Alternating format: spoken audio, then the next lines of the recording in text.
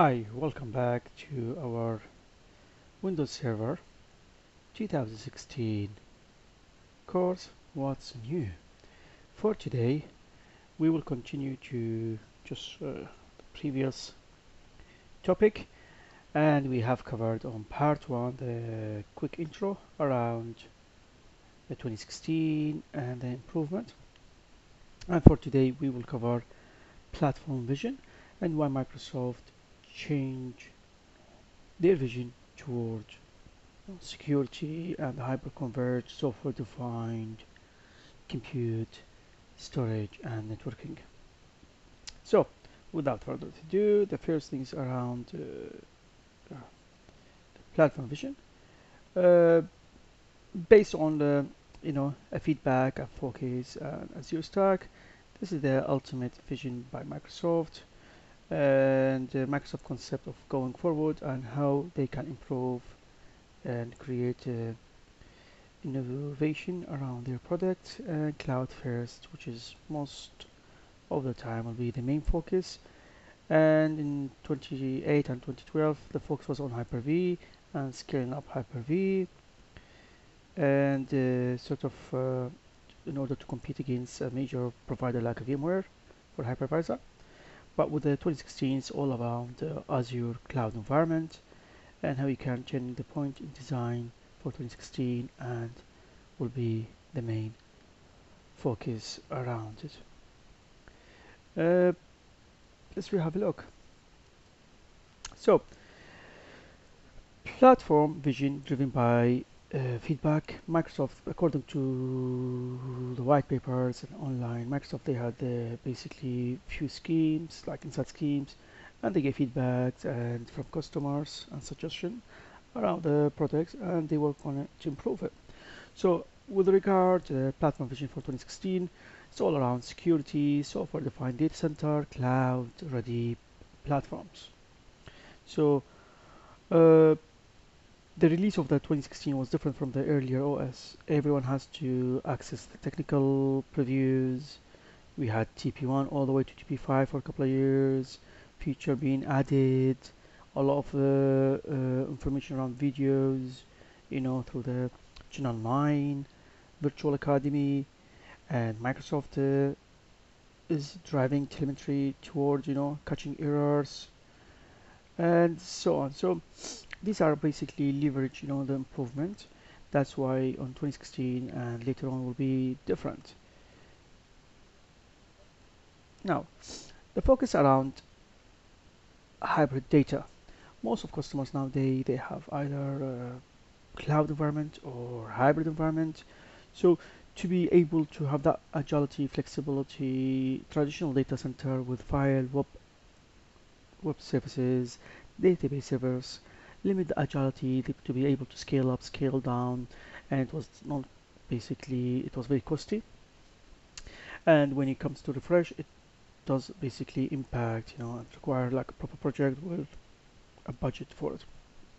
Now, uh, on-premise private cloud, it give you that flexibility around medium agile agility, you know, uh, scale up faster, but it's not like other public cloud like uh, Microsoft Azure, AWS or Google which give you high agility and scale up faster. Also in addition to these it uh, helps us to move uh, faster to hybrid cloud environments you know. So within Microsoft uh, we've noticed the last few years they've changed uh, the way how they support their platforms and we have uh, something around some uh, Azure Public Cloud and we got uh, something called Azure Stack which basically empowers the control data center and uh, sort of like a hybrid hyperscale enterprise between you know the platforms or on-premise and the cloud. And we have like you know either uh, infrastructure infrastructure as a service or platform as a service. And then again utilizing Windows servers or even Linux so we are getting more and more and more like you know uh, sort of um, uh, tools technology are getting supported on these public clouds according to Microsoft and white papers and information they published they are seeing nearly 100,000 new subscription Azure subscription per month So we can see uh, Azure is catching up with you know like uh, other major vendors like AWS. You know, so it's really the main major focus. Now with Azure Stack, it's supposed to replace something called Azure Pack. Uh, Azure Pack still supported until 2022. It was free, and you can install it on a VM uh, on your machine to play or to give you the feeling of Azure itself. With Azure uh, Stack, it's a bit different. You get now Microsoft, I think, working with a vendor or partner, which they provide like a hardware with Azure Stack pre-installed, which means again the ultimate aim is to help around you know pre-provisioning preparing you know environment if you choose to move to the cloud. And again with Azure Stack uh, they know they improve it. So you can even utilize you know uh, different connectors to communicate to different uh, basically uh, public cloud. In this uh, slide you can see the Azure Stack support for other technology like uh, VMware, AWS and so on these connectors will help you around communicating to different uh, uh, basically platforms and having different tenancy, different uh, portals.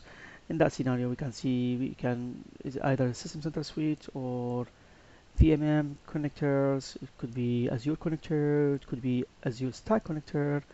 It could be VMware, AWS, OpenStack, and Veeam, or any other REST APIs via PowerShell. Being able to control, you know, tenancy, portals, billing, sharing, automate, and sort of like control from A to Z around you know the life cycle of a project involving this public cloud. And with this public cloud, uh, it basically help uh, around you know uh, understand these basic visions for 2016 and you can see there either virtual machines like nano servers or core servers or the new containers within Microsoft uh, platform either utilizing Windows or uh, using Linux.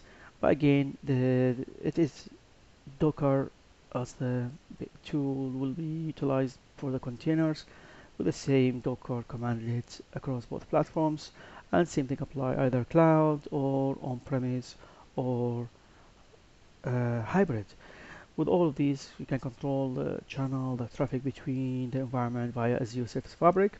We will cover these in more details later on at later stages but this is what I had for you for today. I mean later on um, this is the Windows Server 2016 course, but we will cover the Azure side of it as well, like Azure Service Fabric, Azure uh, Gateway applications, and how that works with Azure Gateways, and how they interact, and how we can do a migration, and how they work with DNS and other elements and of the cloud.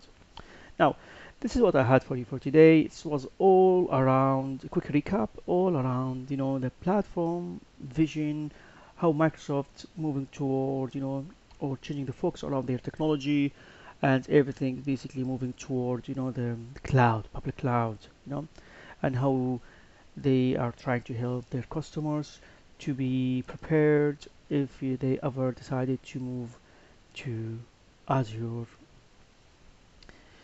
That's all for today. Hopefully you've learned something useful and I shall see you at part 3 for our course Windows Server 2016 What's New. Thank you. Goodbye.